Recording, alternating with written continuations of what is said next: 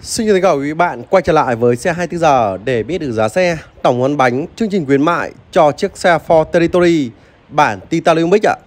Bản cao cấp nhất của dòng xe Ford Territory. Khi mà sang à, cuối tháng 9 này, chiếc xe Ford Territory bản Titanium Mix này nó đã thay đổi chương trình khuyến mại em nhá. Thay đổi rất là nhiều so cả thời điểm à, đầu tháng và giữa tháng đấy ạ. Chiếc xe Ford Territory nó thuộc phân khúc của dòng xe crossover đang cạnh tranh liên tiếp đó là chiếc xe Hyundai Tucson, Kia Sportage hay là rất nhiều xe trường Việt Nam ạ. Ok, em sẽ đi vào chi tiết ạ. Đầu tiên giới thiệu cho anh em về phần giá xe. Với giá miết của chiếc xe đang là 954 triệu. Sang uh, cuối tháng 9 này thì đại lý chúng em đang bán đúng giá nhé. với giá đang là 954 triệu đấy ạ. Thay đổi chương trình khuyến mại rất là nhiều so cả thời điểm đầu tháng và giữa tháng đấy ạ. Vậy thì chiếc xe Ford Territory, bản Titanium Mix này, là nó đang là 1 tỷ 091 triệu ạ. Còn tỉnh thì 1 tỷ 052 triệu. Tỉnh áp phần trăm thì 1 tỷ 071 triệu.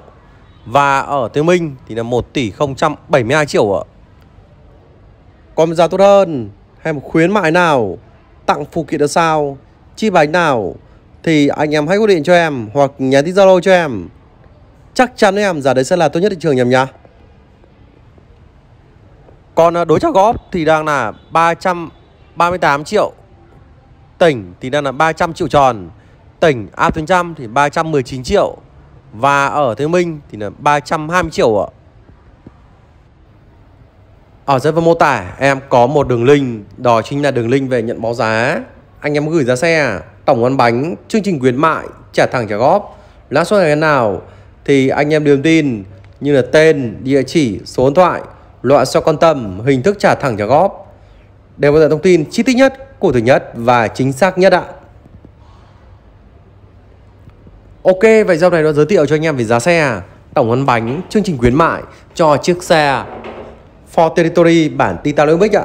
Rất là chi thức về rồi. Vậy sau này xin phép em sẽ dừng video đây. Anh em có thấy hay thì bấm like đăng ký kênh em nhá. Để em sẽ cập nhật về giá xe trong dòng xe của Ford cũng như các xe khác nhau để trong sơn lựa chọn tài chính của mình tốt nhất. Ok, xin phép em sẽ dừng video đây ạ. Chúc anh em một ngày vui vẻ và nhiều sức khỏe. Cảm ơn em sau này cả bạn.